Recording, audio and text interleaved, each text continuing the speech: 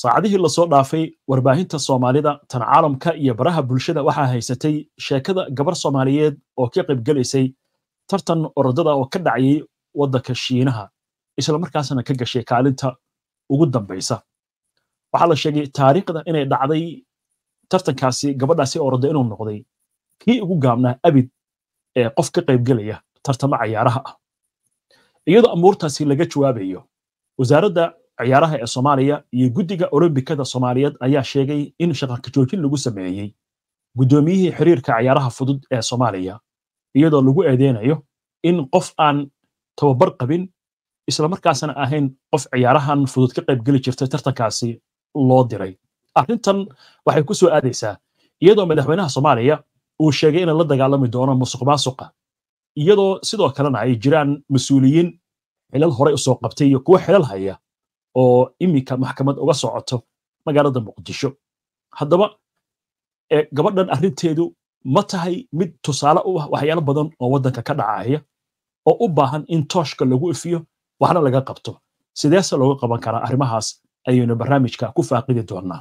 Waa imaara luxury homes limited. Halkii aad dhegaysiyo hoygaad u baahnayd haddaan kuu hayaayo waa himiladaade ku soo hiro imaara luxury homes limited. Anigoon waxba hayn intaad haybin lahayd. Haddaba kaalay hoy ka carbuuno imaara luxury homes limited hoygaaga quruxda leh halka aad ka helaysaa waa nairobi ee ha ka maqnaan imaara luxury homes limited. Halkudhigga imaara luxury homes limited waa hoygu waa muhiime hanti yeelo. Xafiisku waxaa ku yaallaa lenana road hillingam nairobi kenya. Kala xiriir telefoonada shaashadda kaaga muuqda.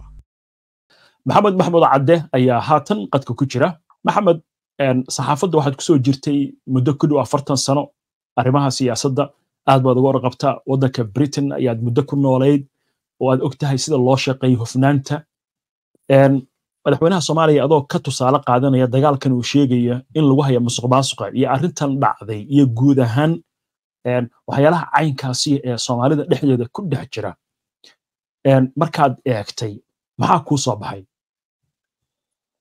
Mawlid horta ayaan daro ayay ahayd nasro waxaa ku dhacay wargeys walba idaacad walba joornaal walba. Haddii aad barta internetka ka baarto sheekada ugu baahinta badan waxa weeye sheekada ku saabsan fadeexada gabadhan tartanka qayb gashay oo noqotay qofkii ugu horreeyey orodka la yidhaahdo boqolka mitir ku orday rikoorka ugu gaabisan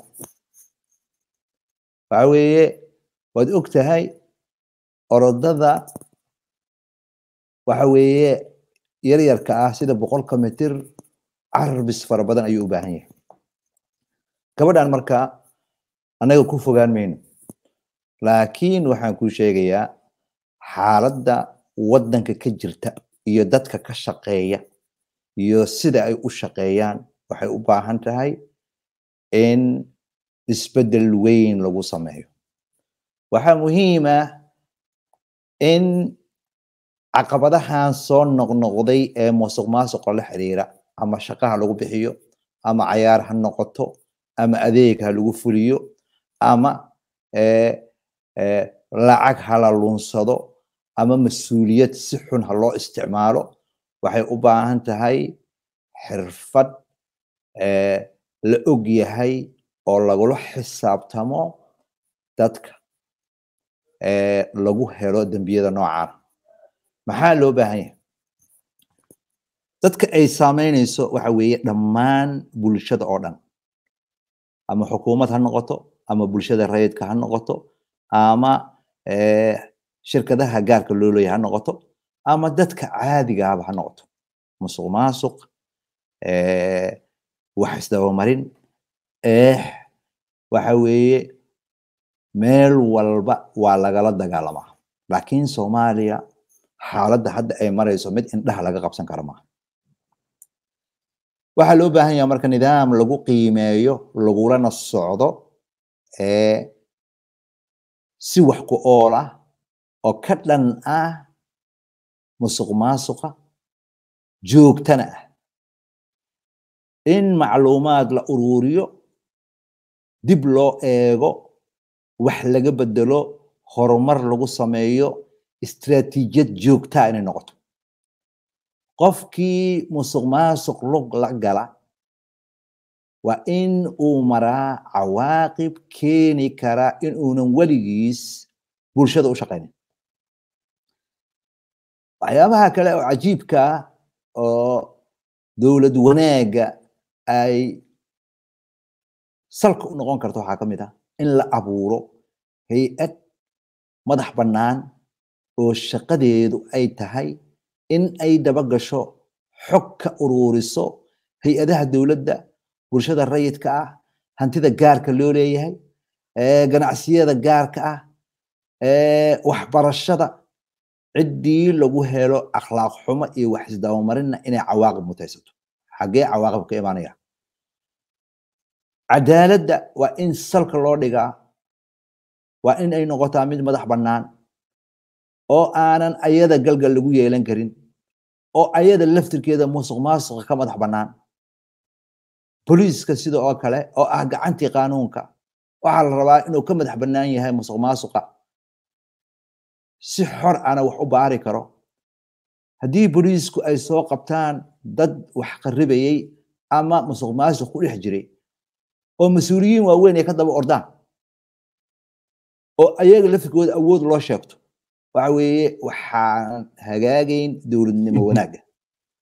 Waxyaabaha marka loo baahan yaha waxa weeye si akhlaaqiyaadka dowladnimada loo hagaajiyo. Musuq maasuqna loo dagaalamo waa in waxbarashada dugsiyada hoose dugsiyada dhexe dugsiyada sare lagu daraa. Ardada waa in lagu soo barbaariyaa. Waa in jaamacadaha sidoo kale ay noqotaa koorsooyin ay dadku ku takhasusaan. Dadku waa inay xirfad yeeshaan ay uga hortegayaan waxaan dowladda sideedana waa in ay ogolaataa in hay'adahani ay caga ku istaagaan si waddankani u hagaago. Waaya maxamedow waa run nasre abukar cali waa gabar soomaaliyeed. Weliba waxaan jeclaan lahayn dadka soomaaliyeed ee gabadhan ama jirkeeda ama qaabkeeda ama orodkeeda ama qaab wax ka sheegaya horta inay taa iska daayaan oo ilaahayna ay ka cabsadaan. Gabar yar oo dhalinyara oo soomaaliyeed weeye inaan la qalbi jibin waxaana hubaa inaysan ayadu mas'uuliyaddaas aysan lahayn. Waana kugu raacsana nasiib xumada ku dhacday waxaan rajaynaynaa mustaqbalkeeda inaysan arrintaasi waxba u yeelan. Way dhihi kartay anigu waxaan awood uma lihi ma samayn karo waa run. Laakiin in lagu riixay oo dad waaweyn oo mas'uuliyiin sheeganayay inay waxaasoo kale sameeyaan waa nasiib dar runtii.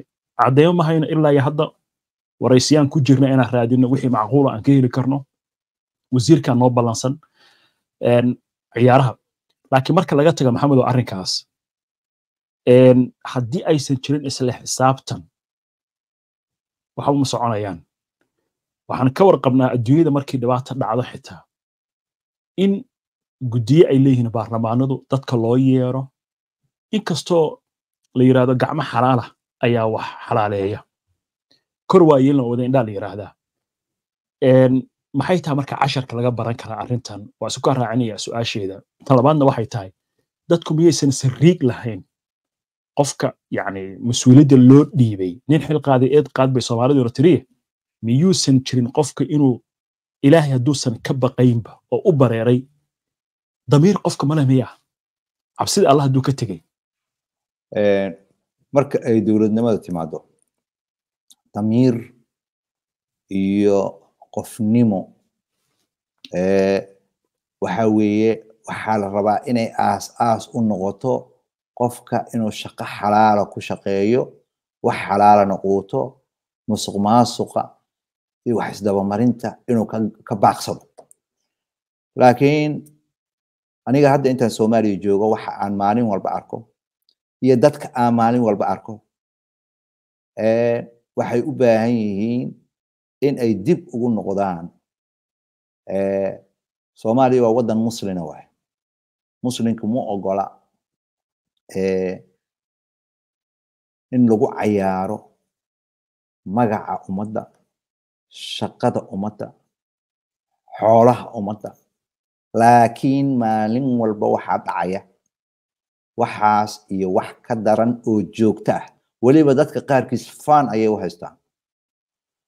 Marka mas'uuliyadda sideedaba baarlamaanka dadka ku jira iyo siday ku yimaadeen cid walbaa og waxaa la yidhaahdaa hal booliya nirig xalaala ma dhasho aniga ma dhihin waa dhaqanka soomaalida ma aha keliya sportska waxbarashada qaanuunka ammaanka cadaaladda diinta xataa meel fiyow ma jirto bulshada. Waxaa loo baahan yahay marka dowladda inay dardar geliso inay guddiga garsoorka qaranka qabato guddigii adeega garsoorka qaranka qabato in xaakimo nadiif ah la keeno cadaaladda in caga loo taago in hay'ad la dagaalanta musuq maasuqa la qabto loo madax baneeyo shaqadeeda in ciidamada booliiska iyo ciidamada ammaanka in ay ka madax banaanaadaan siyaasadda oo qolo walba ay qabato hawsha loo igmaday. Qofka hawsha uu qabanayo aanan xirfadda iyo aqoonta u lahayna in laga ilaaliyo. Sababtoo ah gabadhan ayadoo la heli karo taariikhda soomaalida dib u ag ayadoo la heli karo gabdho tartami kara ayadoo la heli karo sidee ku dhacday gabar aanan weligeed ordin. Cinwaanada qaarkood markaan kuu sheego waxaa la leeyahay qof aanan weligeed ordin. Qof aanan weligeed ordin sidee loo geyn loo geyn karaa? Orodka ugu dhibka badan ee bini aadam ordo ee toban second dhexdiisa lagu kala adkaanayo oo tobankii sekonkii ilbiriqsiye ka yaryara lagu xisaabtamaya ilbiriqsi ka yare? Ka yara lagu xisaabtamaya arrintan marka waxa weeye ha lagu feejignaado ha la ogaado ma aha keliya nasro. Qofka hadda maanta ay fadeexadan la kulantay iyo dadkii soo abaabulay gabadha miskiinta ah in dhibkaa la geliyo iyo qaxarka dadka khabiirada isaga dhigayey ee gabadhan halligay waxaa loo baahan yahay in lala xisaabtamo oo aynan ku fakanin kuna shaqaynin xirfadan ay sheeganayaan. In waxyaabaha kale oo ayada lafirkeeda akhlaaqiyaadka ka mid a waxaa weeye waxaa laga cawdaa caafimaadka xataa. Waxaa la leeyahay qof aanan xanuunsanayn ayaa daawo loo qorayaa farmashiyayga sida uu daawo oga gato. Dhakhtarka waxaa loo baahan yahay in uu qof walba caawiyo. Shaqadiisa ayaa ah dadka inuu caawiyo. Hadday business u tahayna waxaa la akhlaaqiyaadka inuu ilaaliyo. Meel walbay gashay ceebtan iyo fadeexadan. Gabadhan nasraa dhibka ku dhacay qof walboo damiirle ayuu xanuujinayaa laakiin bulshadan waxaa loo baahan yahay inay hurdada ka kacdo. Nin walba oo maanta xafiis fadhiya oo aan ehel u ahayn maalin maalmaha ka mid a ayay fadeexada nasro ku dhacday iyo mid ka daran kugu imaanaysaa maxamed waa runta waxaan rabaa inaan waa gebagabeynayna laakiin dabcan in badan oo ka mid a daawadayaashana waa ay la socdaan sidaan dareemayno. Waddankan britain ra'iisul wasaare la yidhahdo boris johnson baa soo maray labadii kun iyo sagaal iyo tobankii doorashuu qabtay xisbigiisa wuxuu u soo hoyey guushii ugu weyneyd ee ay ku gaaraan xildhibaanada ugu badnaa baarlamaanka. Saddex boqol iyo labaatan ku dhowaad buu helay.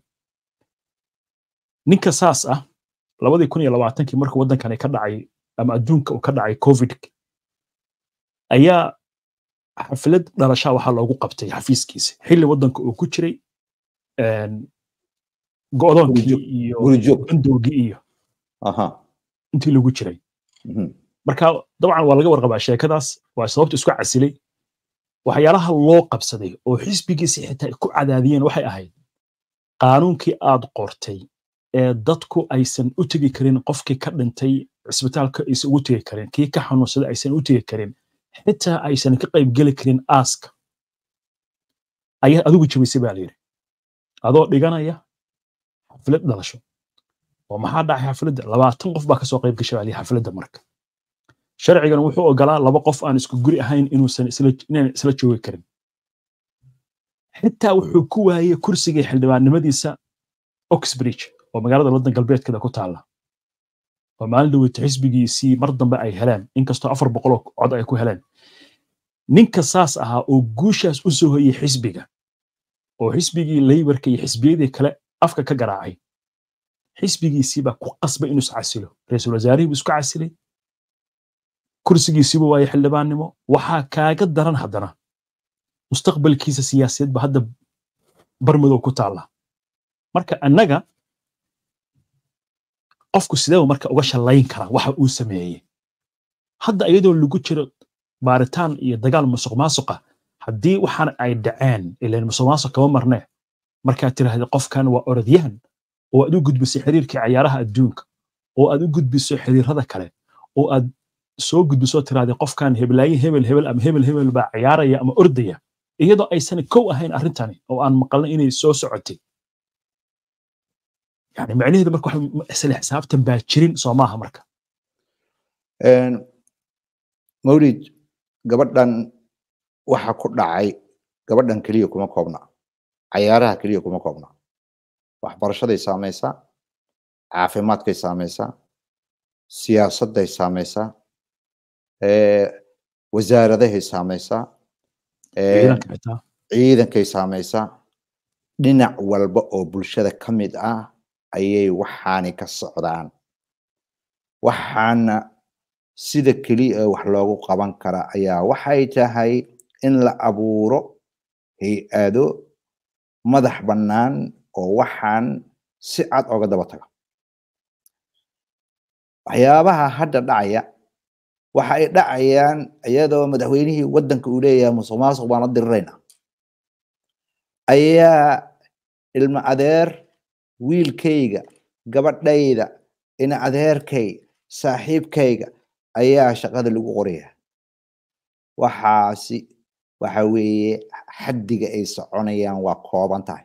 Midda kale waddankan soddon sano oo wuxuu soo maray dagaal sokeeya oo faraha la soo gubtay. Meeshii la rabay dadkan waa daalan yihiin.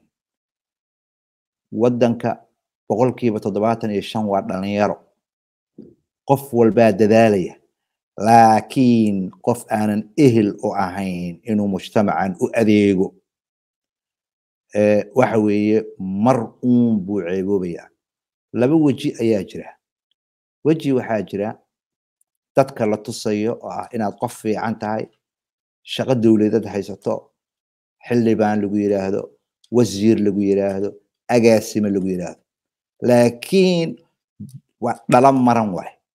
Tanag maran waay.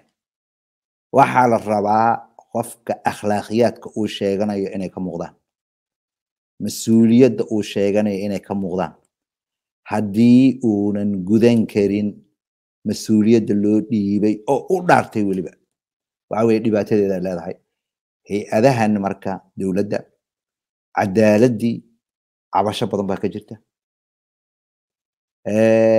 waxay ka jirtaa hay'adihii u shaqaynaya bulshada degmooyinkii bay ka jirtaa isbitaaladii bay ka jirtaa iskuulladii bay ka jirtaa oo ka cabanayaan dhibaato meel walba oo bulshada ka mida meel fiyow ma jirto waxaa la rabaa marka in wax lagu qaato fadeexada nasro ku dhacday kulligeen ayay nagu dhacday kulligeen ayaa ku jira damiirkeenna daciif ah islaamnimadeenna daciif ah waxaa bulshada raba inuu hogaamiyo ama horboodo ninaan ehel u ahayn. Waxaasay wax ka daran baa dhacaya marka. Ma aha marka nasro keliya. Nasro keliya maaha nasrooyin badan baa jiri doona. Iyo maxamedyo badan. Haddii arrintan aanan loo helin jid saxa oo lagu xaliyo oo qaanuuni ah. Maxamed waa mawduuc aad u ballaaran. Runtii waqti badan u baahan laakiin labaatankaas daqiiqan ku soo koobaynaa aad iyo aad baad u mahadsan tahay daawadayaashana way mahadsan yihiin. Fikirkiina halkan inagula wadaaga. Dabcan musuq maasuqu waa kansar baa la yidhi. Soomaalidana wuu ku yahay. Sidee loo geyn karaa? Ra'yigiina qaybta faallooyinka nagula wadaaga. Waad mahadsantihiin nabadgelyo hayaay hayaay hayaay waa imaara luxury homes limited. Halkii aad dhegaysiyo hoygaad u baahnayd haddaan kuu hayaayo waa himiladaade ku soo hiro imaara luxury homes limited. Anigoon waxba hayn intaad haybin lahayd. Haddaba kaalay hoy ka carbuuno. Imaara luxury homes limited hoygaaga quruxda leh halka aad ka helaysaa waa nairobi. ee ha ka maqnaan imaara luxury homes limited. Halku dhigga imaara luxury homes limited waa hoygu waa muhiime hanti yeelo. Waxaana ay guryaha ka dhistaa magaalada nairobi gaar ahaana xaafadda backlandis city bark drive. Dhismaha koowaad waxa uu leeyahay adeeg kasta sida goobihii cibaadada masjid qaada toddoba boqol oo qof jiim ama goobaha jirdhiska oo rag iyo dumar u kala soocan. Dhismuhu waxaa kaloo uu leeyahay koronto u gaara baarkinka gawaarida oo elektroniga kaamarooyinka ammaanka ee c c t v. Qolalka dhismayaashu waxay ka kooban yihiin laba qol iyo fadhi saddex qol iyo fadhi afar qol iyo fadhi ama shan qol iyo fadhi. Guri kastana waxa uu leeyahay qolka shaqaalaha guryaha waxaana dhisaya shirkad turki ah. Dhismuhu waxa uu leeyahay madaaris